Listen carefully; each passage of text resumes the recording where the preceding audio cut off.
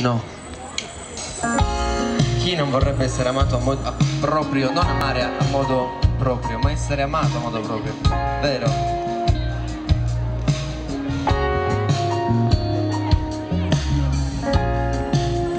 Ti aspetterò seduto qui,